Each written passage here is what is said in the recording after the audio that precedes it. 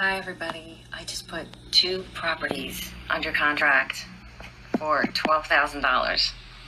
I'm so excited. It might not seem it right now, but I have to be, I can't be too loud where I'm staying for the moment. So, um, but I am extremely excited.